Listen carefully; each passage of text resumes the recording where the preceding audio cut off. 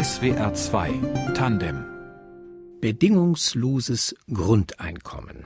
Die Idee ist schon alt und geht auf einen Vorschlag des amerikanischen Wirtschaftswissenschaftlers Milton Friedman zurück. Das war 1962. Finnland will es nun testen. Die Niederlande experimentieren damit. Und die Schweiz wird am 5. Juni per Volksentscheid darüber abstimmen. Bedingungsloses Grundeinkommen. In Deutschland steht es noch nicht auf der politischen Agenda, aber dafür gibt es eine private Crowdfunding-Initiative, die Grundeinkommen von 1000 Euro für jeweils ein Jahr verlost. Autorin Regina Burbach stellt die Initiative vor. Mut statt Existenzsorgen.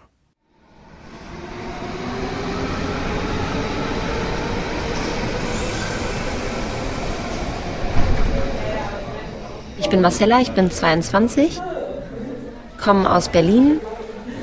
Marcella bzw. Marci werde ich genannt. Also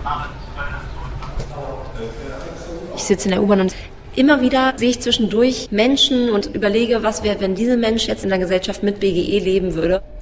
BGE, das ist die Abkürzung für bedingungsloses Grundeinkommen. Ich bin fasziniert davon, wie weit es gehen kann. Ein bedingungsloses Grundeinkommen ist ein monatliches Geld, das ein Staat all seinen Bürgern und Bürgerinnen zahlt, unabhängig vom Alter oder ob sie arm oder reich sind.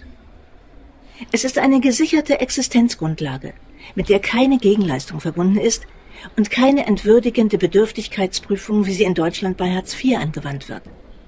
Keine Überwachung, keine Wegnahme der Selbstbestimmung. Marcy hat das Leben mit einem bedingungslosen Grundeinkommen ausprobiert. Vier Monate lang. Als ich noch im Klamottenladen gearbeitet habe und auch äh, die Geldsorgen hatte und ganz viel auch gemacht habe, aber ich hatte irgendwie nicht den freien Kopf für Schule. Und Sie machte neben der Arbeit das Abitur nach. Ich hatte irgendwo die Neugier, aber ich war dann immer so müde und habe mich wirklich lieber einfach ins Bett gelegt, anstatt noch was zu lesen oder so. Sie hatte ein Zimmer in einer WG und zwei Jobs, Verkauf und Babysitting. Aber das Geld, das sie dabei einnahm, reichte nicht einmal für das Nötigste. Sie erzählt mir das, als das Experiment hinter ihr liegt. Es begann für sie alles im Mai 2015 in Berlin. Da trat sie ein Praktikum an beim Verein Mein Grundeinkommen in einem alten Postgebäude in Kreuzberg an der Hochbahn. Jeden der vier Praktikumsmonate bekam sie 1000 Euro bedingungsloses Grundeinkommen. Das Praktikum ging vor drei Monaten zu Ende. In einem Büroetagenflügel des alten Posthauses warte ich nun in der Sitzecke auf den Chef von mein Grundeinkommen. Diesen großen hellen Raum mit hohen Fenstern teilen sich drei Startups. Auf einer Seite ist gerade Meeting, auf der anderen sitzen Leute über Laptops. Ich bin Michael Bohmeier. Gründer und Geschäftsführer. 31 Jahre. Ich habe das große Glück, selbst so ein Grundeinkommen zu beziehen. Ich habe vor vielen Jahren eine Internetfirma gegründet und von der zahle ich mir jetzt eine Gewinnausschüttung monatlich aus. Das sind knapp 1000 Euro und dafür muss ich nicht mehr arbeiten. Und das hat mein Leben radikal verändert. 2014 fing er an, per Crowdfunding Geld zu sammeln, um Grundeinkommen von 1000 Euro zu verlosen. Jeweils für ein Jahr unter allen, die sich im Internet auf meingrundeinkommen.de anmeldeten. Und es hat mich total fasziniert, was im Leben noch drinsteckt, wenn diese Arbeit und Einkommen entkoppelt voneinander sind. Er lebt von 1000 Euro, die er selbst erwirtschaftet hat. Das ist seine freie Entscheidung. Bemerkenswert finde ich, wenn schon 1000 Euro so einen großen Freiraum bedeuten, wie groß ist dann wohl der Freiraum für jemand, der jede Stunde des Tages braucht, um mit Lohnarbeit überhaupt auf 1000 Euro zu kommen? Da ist dann kein Freiraum mehr übrig. Das bedingungslose Grundeinkommen würde das ändern. Und dann dachte ich, das müssen wir doch mal ausprobieren. Vielleicht sollte ich noch eines herausstellen. Das bedingungslose Grundeinkommen vom Staat gäbe es nicht obendrauf. Es ist, wie der Name sagt, der Grund, der Sockel. Wenn ich 3000 Euro Gehalt hätte, dann wären davon 1000 zum Beispiel Grundeinkommen. Und hätte ich kein Gehalt, hätte ich aber immer die 1000 Euro Grundeinkommen. Bedingungslos. Hartz IV gäbe es dann nicht mehr. Ich würde sagen, dass Grundeinkommen eine relativ leicht umzusetzende Änderung an unserem System ist. Es ist eine gewaltfreie, friedfertige Veränderung. Es ist eine Veränderung der Möglichkeiten und nicht des Zwangs. Wer heute arbeitet, kann genauso weiterarbeiten. Wer sich verändern möchte, kann es einfach tun. Denn Grundeinkommen gibt echte Freiheit. Echte Freiheit hat man dann, wenn man die Freiheit hat, Nein zu sagen. Das haben wir heute nicht. Heute hat man die Wahl, wie man sich zum Markte trägt, aber ob man sich überhaupt zum Markte tragen will, das wird eigentlich niemand gefragt. Und dieser Möglichkeitsraum eröffnet sich mit Grundeinkommen. Und da gibt es ganz viel Platz für neue Ideen, für Verbesserungen. Bis Februar 2016 wurden schon 33 Jahresgrundeinkommen verlost und 38.210 Menschen haben die mit ihren Spenden finanziert. Mit durchweg kleinen Spenden von 5 Euro, 10, 20, 30. Die Idee, ein Praktikum mit Grundeinkommen auszuschreiben, hatte er bei einer Zufallsbegegnung. Wir waren eines Abends in der Kneipe und da habe ich einen jungen Menschen kennengelernt, äh, Marcel. Und dieser Marcel wollte ein ganzes Grundeinkommen spenden. Genau gesagt vier. Viermal 1000 Euro. Und da habe ich gesagt, das nehmen wir gerne an. er könnte das bei uns machen. Und wir hätten auch eine Idee. Wir würden das nämlich einfach gern weitergeben an eine bedingungslose Praktikantin. Sonst wäre es in den Lostopf gekommen. Diese große Spende eines Einzelnen war jetzt aber so ungewöhnlich und prädestiniert eigentlich für ein kleines Experiment. Auf der Website des Vereins war am 27. April 2015 zu lesen, Marcel verschenkt ein Grundeinkommen. Ist er Lottokönig, Industrieller, ein reicher Erbe? Gespannt klickte man das zu der Meldung gehörige Video an. Warum ich das mache?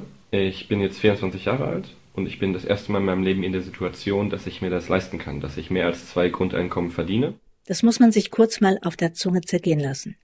Da schenkt einer, der gerade so mal im Moment ganz gut über die Runden kommt, jemand anderem 4000 Euro weil ich noch die Situation kenne von vor zwei Jahren. Da habe ich mich ungefähr entschieden, ja, meinen Job zu kündigen und ich wollte Unternehmer werden.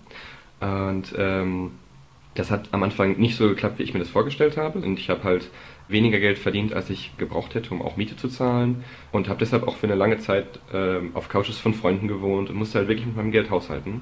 Und ähm, habe auch gemerkt, wie negativ sich das auf Kreativität und Unternehmergeist auswirken kann. Und das zu fördern, dass jemand seinen, seinen Träumen folgt und das macht, was er wirklich will, finde ich, ist das eine sehr gute Investition, äh, dieses Geld dann in ein Grundeinkommen zu investieren. Es blieb jetzt abzuwarten, wie sich dieser Sonderfall weiterentwickeln würde. So, guten Tag. ähm, ein neues Video. Name? Marcel, wie er die erste Online-Überweisung von 1000 Euro macht. 1000 Spendenzweck, Spende. Wir haben am 1. Mai um 14.21 Uhr Ihren Überweisungsauftrag erhalten. Vielen Dank für Ihren Auftrag. So.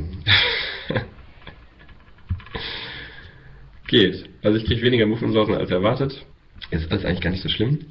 Ähm Marcy in Berlin sah das Video zu Hause am Laptop und wusste noch nicht, dass sie selbst wenig später aus den Bewerbungen als Praktikantin gewählt werden würde. Und bin jetzt auch gar nicht davon ausgegangen, dass sie noch einen Praktikanten oder eine Praktikantin suchen. Ich dachte, die gäbe es schon.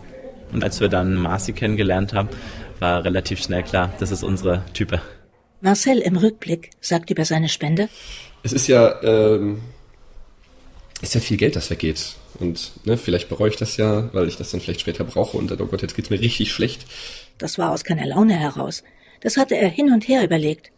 Weil er selbst davon ausging, dass sein Sicherheitsdenken jetzt mit 24 sehr wahrscheinlich weniger ausgeprägt war, als wäre er 50.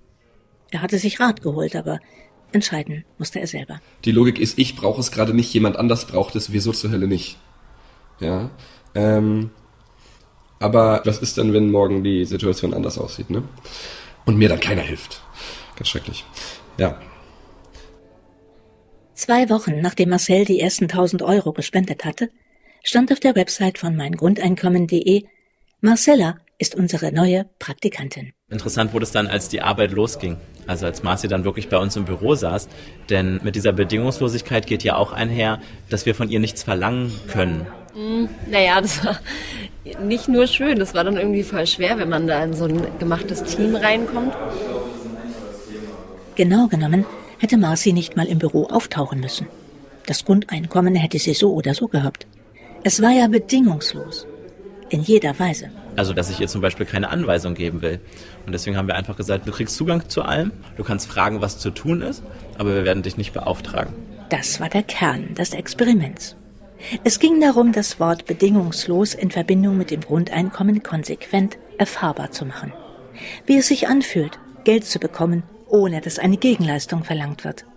Aber manchmal waren es mir fast zu wenig Aufgaben und dann habe ich mich aber auch in der Position gesehen, dass ich auf den Tisch schauen kann und sagen kann, ich will jetzt was machen und ihr sagt mir jetzt, was ich machen soll, weil ich bekomme mein Geld ja so oder so. Ich habe ja nicht die Angst vor meinem Chef oder so, dass ich mich jetzt daneben benehmen könnte. Ich kann ja ganz offen sein, ich kann Kritik üben, wenn ich es für angebracht halte und genau das äh, davon habe ich dann auch Gebrauch gemacht. Marci machte ein Videotagebuch, wie es ihr mit dem Grundeinkommen ging.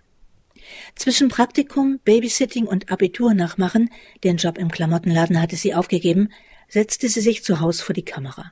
Ist ein komisches Gefühl. Noch bevor die 1000 Euro auf ihrem Konto waren, drückte sie auf Aufnahme. Hallo, ich bin Marcella. Ich bin 21 Jahre alt, komme aus Berlin. Sie schilderte auch offen ihre Bedenken. Und jetzt auf einmal da so eine Internetplattform zu haben, wo man sich irgendwie, ja, sich preisgibt und und wo sie den Leuten da draußen, wollte sie ehrlich sein, auch sagen musste, dass sie, seit sie den Spender des Geldes vom Video kannte, nun dauernd überlegte, was der jetzt wohl dachte.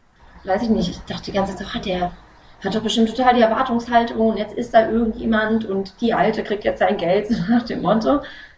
Und dann waren die 1000 Euro tatsächlich da. Es waren so viele Nullen. ich glaube nicht, dass ich immer so viel Geld auf dem Konto hatte. Und dann habe ich mir erstmal einen neuen Staubsauger gekauft. Unser Staubsauger war nämlich schon ganz lange kaputt in der WG. Das war so mein Highlight dann erstmal. Insgesamt aber fühlte sich für Marci das alles noch nicht gerade blumig an. Im Video-Update sagte sie, zum Beispiel hatte ich letzte Woche auf jeden Fall total das Schuldgefühl gegenüber Marcel. Ich habe den zum ersten Mal jetzt persönlich kennengelernt und danach ging es mir irgendwie überhaupt nicht gut. Ich war total schlecht gelaunt, wahrscheinlich auch gerade, weil er so jung ist, weil er in meinem Alter ist. Und es kam mir dann irgendwie falsch vor, dass ich jetzt dieses Geld von ihm bekomme. Auch wenn das Geld gar nicht direkt von Marcel an sie kam, sondern über den Verein. Leistung gegen Leistung, so ist das gesellschaftlich eingeimpft in uns. Aber um Gegenleistung geht es ja nun gerade nicht beim bedingungslosen Grundeinkommen. Nee, es ist ja bedingungslos, ne? Das ist ja die Idee. Das ist ja der Glaube an das Gute im Menschen, dass jeder das verdient hat. Ne? Davon ist Marcel nach wie vor überzeugt. Aber als er die erste Überweisung gemacht hatte, so etwa 14 Tage danach, war ihm dann doch etwas mulmig. Aus anderen Gründen, wie er im Video sagte. Was mir nämlich aufgefallen ist, dass ich doch Angst hatte und habe, äh, dass ich hier Geld abgebe, was ich vielleicht selber super gut brauchen könnte in, in einem halben Jahr. Und das verstärkt sich jetzt bei mir, weil ich ja jetzt eine Person vor mir sehe, die jetzt im übertragenen Sinne tatsächlich ja abhängig von mir ist. Ich habe einfach Schiss, ne, dass ich das, ich möglicherweise jetzt meinen eigenen Träumen nicht mehr folgen kann, weil ich mich committed habe. Marcy mit Grundeinkommen war jetzt ohne Geldsorgen. Das ist, das ist so tiefgreifend, dass man Schwierigkeiten hat, das so zu reflektieren. Aber nee, also ich habe ich habe jetzt nicht mit Geld um mich geworfen. Ich kaufe mir, wenn dann Dinge, die ich halt wirklich gerne mag. Mein meistes Geld gebe ich für Essen aus, aber das finde ich okay. Und ähm, ich bin auf jeden Fall irgendwo tiefenentspannt. Die Entspanntheit hielt aber nicht durchgehend an. Sie wurde torpediert von dem Gefühl, etwas anderes könnte vielleicht schlimmer kommen. Und es kam schlimmer. Und das hatte mit Marcy selbst zu tun. Sie setzte sich immer mehr unter Druck, um die Zeit zu nutzen und etwas Besonderes aus ihrer Chance zu machen. Denn irgendwann würden die vier Monate Grundeinkommen ja auch vorbei sein. Ganz am Anfang waren ihr die noch lang vorgekommen. Hallo. Hm. Ich habe mich ein bisschen übernommen, muss ich sagen. Also ich hätte gerade am liebsten, dass der Tag 30 Stunden lang ist, damit ich einfach noch mehr erledigen kann und noch mehr machen kann. Und meine Waschmaschine. Ähm, in den öffentlichen Diskussionen um das Grundeinkommen taucht standardmäßig der Satz auf, dann arbeitet doch keiner mehr. Als würde kein Mensch mehr seinen Zielen und Überzeugungen nachgehen. Und auch werden die 23 Millionen freiwillig Tätigen, die die Bundesregierung regelmäßig im freiwilligen Survey ermitteln lässt, ganz vergessen. Würden freiwillige Feuerwehrleute mit Grundeinkommen keine Brände mehr löschen? Das Interessante ist, wenn wir sagen, dann geht ja keiner mehr arbeiten, wir sprechen immer nur von den anderen. Wenn man den Menschen mal wirklich statistisch fragt, würden sie denn weiterarbeiten mit Grundeinkommen, sagen 90 Prozent, ja natürlich. Ich habe da mein soziales Umfeld, meine Anerkennung und das hat natürlich auch einen Sinn. Ja, Arbeit hat ja ganz oft einen Sinn. Ähm, und fragt man die exakt gleichen Menschen, würden die anderen denn weiterarbeiten mit Grundeinkommen? dann sagen diese Leute zu 80 Prozent, nee, die würden auf der faulen Haut liegen. Und das sagt ja ganz viel über unsere Gesellschaft aus. Aber es geht ja gar nicht darum, dass einer etwas tut für das Geld. Ganz schön hartnäckig, das angelernte Denken. Das bedingungslose Grundeinkommen wäre allein dafür da, dass allen Menschen das Nötigste an Geld sicher wäre, dass sie vor allem anderen erst einmal leben könnten, ohne zur Bittstellerei gezwungen zu sein. Essen kaufen, Miete zahlen, Strom, Heizung, Wasser und so weiter. Das ist halt so eine Grundhaltung momentan, dass wir uns das nicht gegenseitig gönnen. So man muss etwas tun, um. Und ich denke durchaus, dass der Mensch imstande ist, das ganz anders zu sehen. Aber dazu muss er halt auch tatsächlich selber in der Verfassung sein, dass es ihm gut geht. Genauso wie bei mir, als ich es mir leisten konnte, Menschen einzuladen und Menschen Geld zu geben und zu sagen, hey, alles entspannt. Da fiel mir das super leicht. Und davor war es so, ja, okay, ich kann dir jetzt nichts leihen oder es, ist, es zwickt mich jetzt, weil ich brauche das morgen selbst. Bei so viel gegenseitigem Misstrauen sollten wir auch die ganz praktische Frage stellen. Wie gut kann man in Deutschland eigentlich leben von 1000 Euro zum Beispiel? Wenn eine Einzimmerwohnung 30 Quadratmeter in München unter Schleißheim oder Hamburg-Ottensen schon 500 kalt kostet. Die Menschen mit sehr kleinen Einkünften würden durch Grundeinkommen am meisten gestärkt. Kein Amt könnte sie mehr zwingen, jeden entwürdigenden Billigjob anzunehmen es gibt so viele Effekte, derer wir uns bewusst sind, dass zum Beispiel, der, das, das wissen wir alle eigentlich, dass der aktuelle Prozess, in dem Hartz IV beantragt wird, ein bisschen erniedrigend ist auch. Man muss alles offenlegen und muss da halt als, als Bittsteller hinkommen und das ist ein harter, harter Prozess. Das wissen wir alle. Aber irgendwie haben wir noch das Gefühl, wenn wir gerade nicht in der Lage sind, dass es dann okay ist, wenn die, die gerade irgendwie äh, unten sind, das dann durchmachen müssen. Noch extra. Aber mal ehrlich, das passiert doch so schnell, dass jemand dann mal arbeitslos wird und da nicht so schnell wieder rauskommt.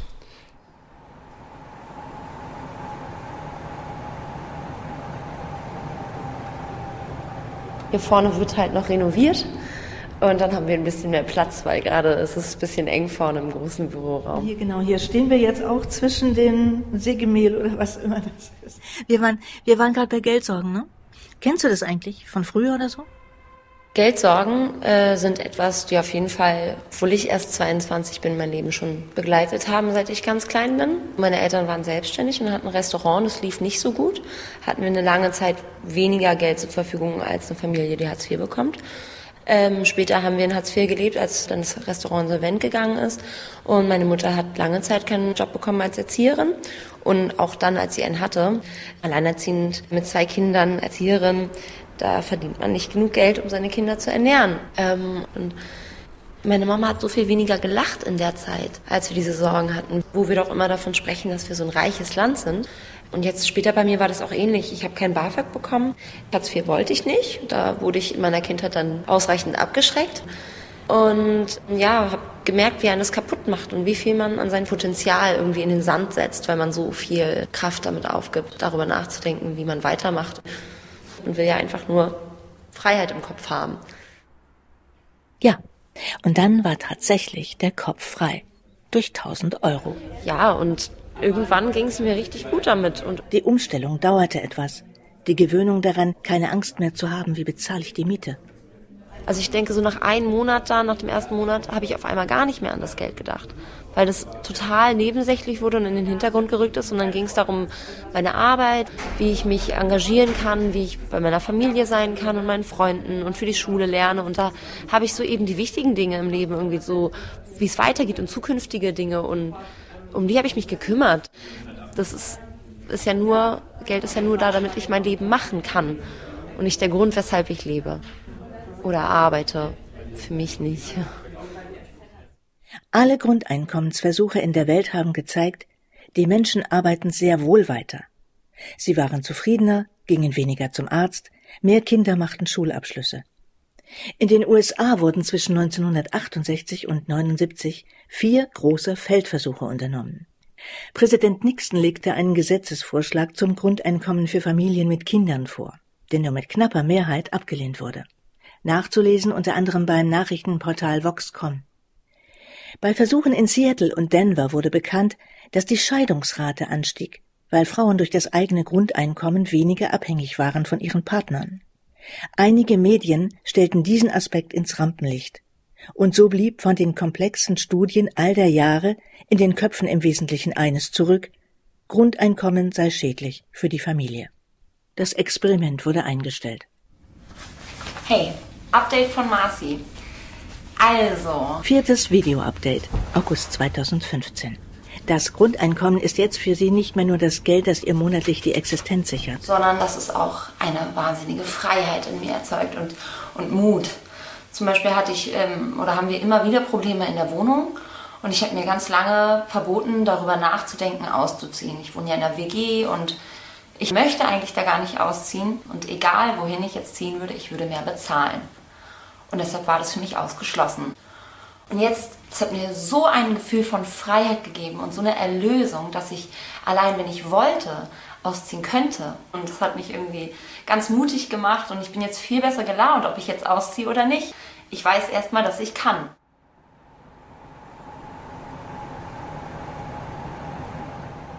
Das Praktikum ist vorbei. Marcy ist jetzt angestellt bei Mein Grundeinkommen. Ihre offene Art und ihre Entschlossenheit haben überzeugt. Für ihre Arbeit wird sie fair bezahlt und sie kann sich dabei weiterentwickeln. Das ist genau, was sie wollte. Wir stehen beide in dem leeren, halbfertigen Raum und klopfen uns das Sägemehl von den Jackenärmeln. Draußen fängt es an zu dämmern und die Hochbahn rauscht vorbei. Definitiv Selbstbewusstsein. Also das ist ein richtiger Boom gewesen an Selbstbewusstsein, habe ich gemerkt, was ich sicherlich vorher auch hatte, aber was irgendwie unterdrückt war und weil ich immer mit anderen Dingen beschäftigt war und auf einmal kann man und macht man. Ein vom Staat gezahltes Grundeinkommen braucht ein neues Denken, das auf mehr Vertrauen basiert.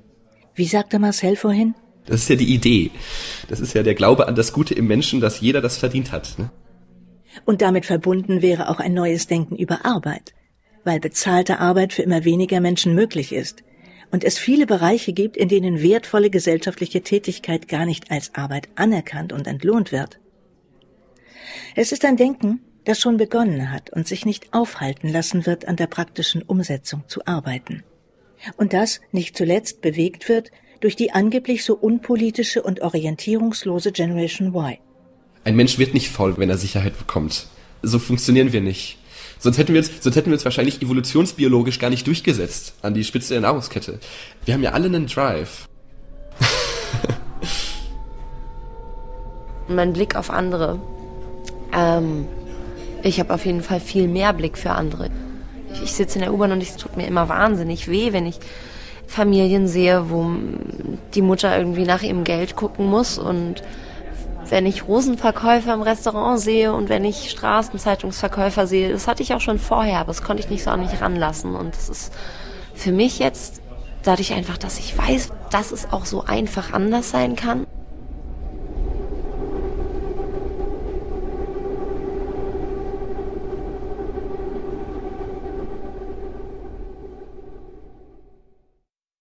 Mut statt Existenzsorgen. Ein Probeleben mit bedingungslosem Grundeinkommen von Regina Burbach.